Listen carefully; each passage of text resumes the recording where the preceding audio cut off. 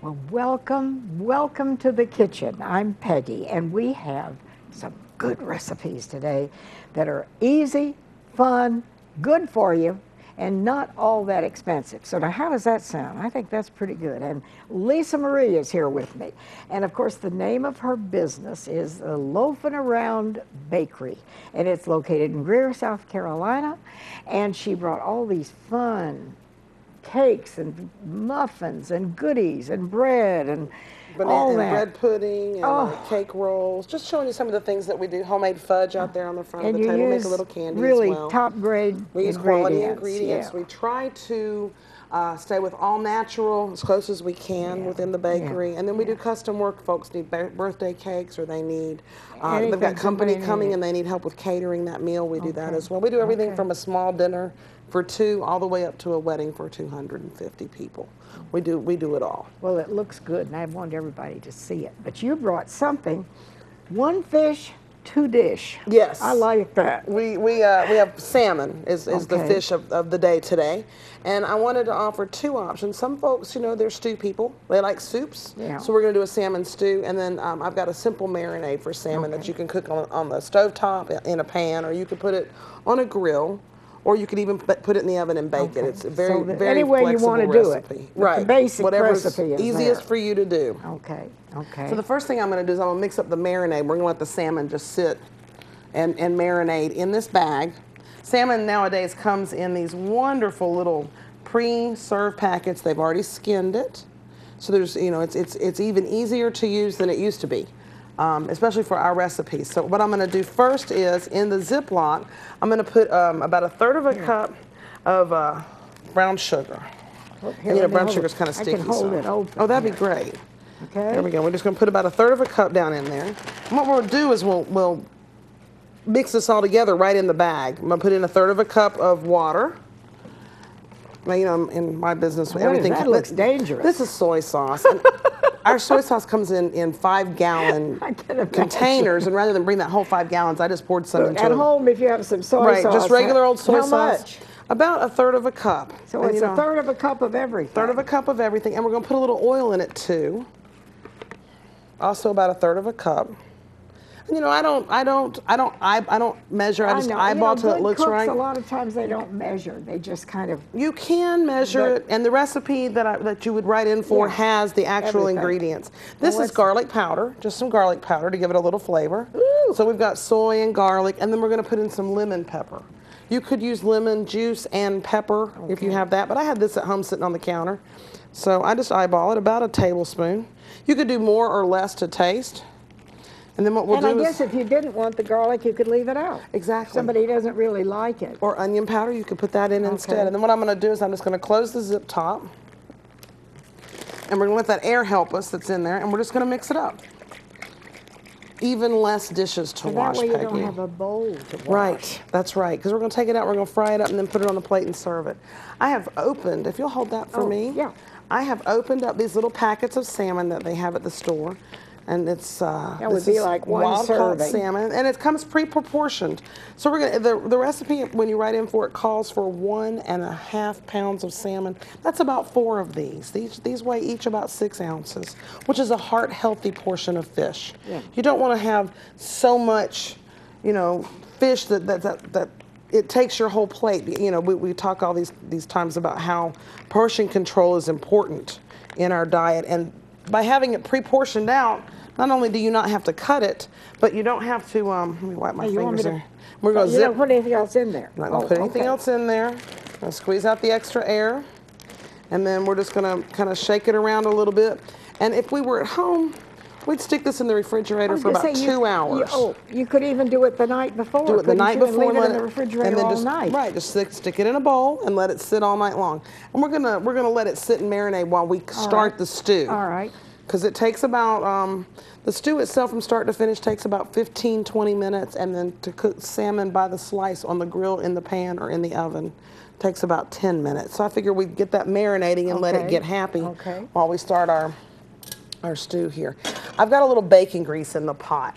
I cooked up about two ounces of bacon. I just crisped it up so I could get that flavor because that flavor is what makes the salmon stew So yummy. Now, a lot of times So that's you, what you have in here. Right. It isn't very much. it's not very much at all. It's a non-stick pot. Yeah. So you don't need much, and it'll give us the flavor that we're looking for. I've got two bunches of scallions, and I like to cut them on the bias. It makes for a pretty presentation. And we're going to cut all but a couple handfuls, um, because we'll use the handfuls for garnish on the top of the soup, excuse me, when we serve it. So I'm just going to set that aside. We're going to put these the scallions right down here in this pot and let them start cooking. And once they start cooking, we're going to add in some corn, and we're going to add in some garlic and some seasonings that give it flavor. And we're going to use um, whole milk and canned milk instead of Oh, really? flour. Right, Oh, um, just okay. evaporated milk because evaporated milk has less fat than whipping cream. Now It's this the- is just starting. Is that Yes, it is. Yes, it's going. We're gonna we're gonna let it get going here. I'm gonna bump that heat up a little more. It should start here in just a second to really cook, and then once it really starts, we're gonna add in the corn and we'll add in some garlic and some seasoning, and get it going. Now it's starting. There we Now go. So starting. you can hear it. It's talking to us. So we're gonna add in um, three cloves of finely chopped garlic, or about one tablespoon. We're gonna add in a cup of corn. And I'm Now, gonna Can you use uh, canned or frozen, or does either it matter? one or fresh, cut off the cob. I'll let you start stirring those for me if you would, ma'am.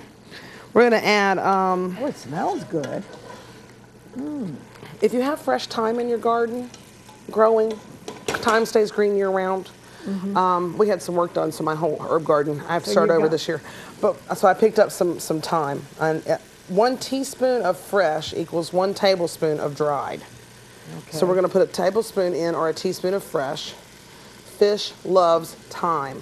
Fish also um, loves I uh, love bay to leaf. smell thyme. I do too. Mm, it's good. We're gonna put one bay leaf, one small bay leaf in. We'll go ahead and let that start. And the reason we're putting it in before we add everything else is so it can start heating up. When you heat up the herbs with the oil, it releases the natural oils in the herbs so that they have more flavor. You'll get more of the flavor into your food as opposed to um, it staying in the dried herb itself. Um, missed that guy. Okay, I'm gonna put in um, an eighth of a teaspoon, which is a pinch, of crushed red pepper. So it's got a little heat to it. You can leave this out. You know, just Just it to taste. give it a little pizzazz. a little a little zing in the background, if you will. Okay. Um, and that, that helps it have the, the it, it brings out the flavor of the other herbs, believe it or not. It's like salt and pepper. It's a complementary spice. It's not there to take over the whole dish. Um, we're going to add uh, three cups of milk. And I just picked up local milk. This is actually this seems four. like such a strange combination. It'll all come together. It's a chowder. Or it's a stew. Okay, We're going to add potatoes okay. as well. So I'm going to go ahead and turn the heat down some. Yeah, we better. And we're She's gonna- not going to measure that, but you want three cups. Want three cups. Okay. Peek down in the jar there and see how much we've got left. Now that's, about whole milk. That's whole milk. You don't. can yeah. use whatever milk you, You have. could? Milk is milk. And if you're on a if you're on a if you're watching your calories and you're watching your fat grams, you could use fat-free milk.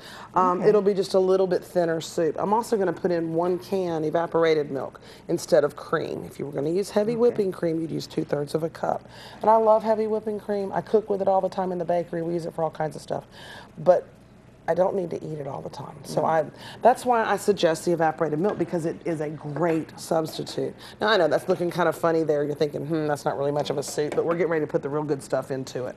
I'm gonna add um, some pre-cooked diced red potatoes. And I cooked these last night because trying to cook them all on the Yeah, and you left, TV. of course, you leave the peeling on. That's what makes them so Yeah. wonderful. That's where Yeah. the nutrition is in how much is that, three? That's about two cups, two to three cups. It's a little less than two cups. And I'm just gonna get it out here so it doesn't splash. I'm gonna kind of let it lay in gently. We're gonna stir that in. And then I'm gonna cut these salmon fillet into cubes. And the beautiful thing about these fillet being pre-skinned is we don't have to get our knife under it and skin them ourselves. it, Right. no. It's so easy to cut. So I'm just gonna chunk them into cubes.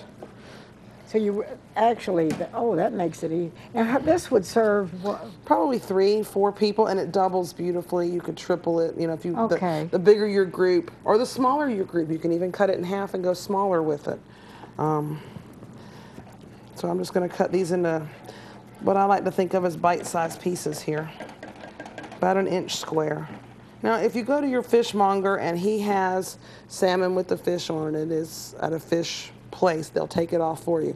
If you go to your store and you end up with salmon at home, you would lay your salmon flat, skin side against the cutting board.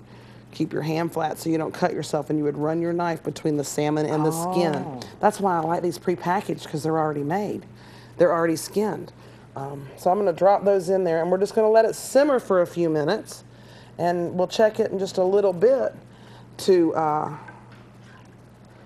okay, now, if, what would you serve this with? I would serve it with a big hunk of homemade bread, some homemade garlic toast, or a roll. A salad on the side would be good. have a full meal. You can have a full meal. Yes, yes. It's got a protein. It's got a dairy. It's got vegetables. So it actually by itself is a complete dish. Um, you could add other vegetables to it if you didn't want to use scallions and you wanted to use celery and onion. You could use that if you wanted to use.